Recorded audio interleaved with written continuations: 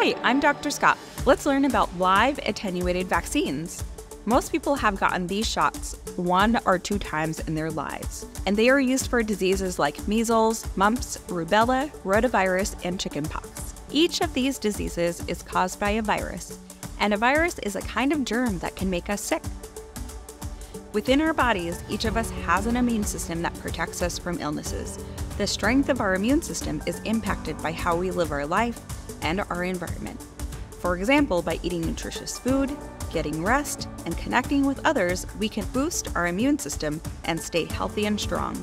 We all have antibodies or immune warrior cells that stand guard and attack diseases. When we get a vaccine, the ingredients in the shot tell our warrior cells how to recognize and fight the disease. Imagine I am the immune system on a bright sunny day. Before getting a vaccine, I'm not able to see the virus. But after getting a vaccine, I'm able to see the virus. Now, how does a live attenuated vaccine work? Viruses are tiny, so let's build a model, a bigger version of what the virus looks like, to understand how we can get sick. The body of a virus is like a shell, and let's pretend that this plastic ball is the shell of a virus. Some viruses have spikes that stick out of its shell. The virus uses these spikes to stick to your cells and fuse with them. Let's add these foam darts to the ball and pretend they're spikes. The last important part of the virus is the instructions. The instructions tell how to make more copies of itself once it's inside of your cells.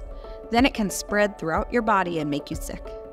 In our pretend virus, the white part of the shoelace is the instructions for building the virus.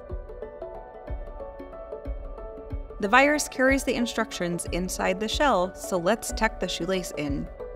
Now that we've built a virus, let's see how we make a vaccine. These vaccines are made by processing the virus to weaken it.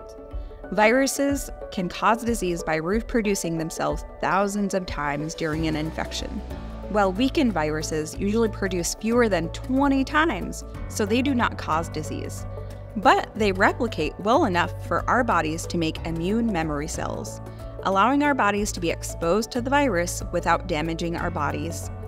When you get the shot, your body will learn what the virus looks like and build immune warrior cells who are then on the lookout for the virus. After getting vaccinated against a particular disease, it is less likely that we will get sick with that disease and reduces the seriousness of illness if you get sick it is also less likely that we will make others sick. Live attenuated vaccines often need one or two shots against a disease within a certain time frame to build up your warrior cells to be ready to fight for you. Once the series of shots is complete, you will have more warrior cells that can more fully protect you for your lifetime. If you receive a vaccine, make sure you ask if it is part of a vaccine series. If it is, learn when you need to come in for your next shot or shots. Staying up to date on our vaccinations is one way that we can protect ourselves and others, including our most vulnerable, elders, and newborn babies. Let's work together to keep our community safe.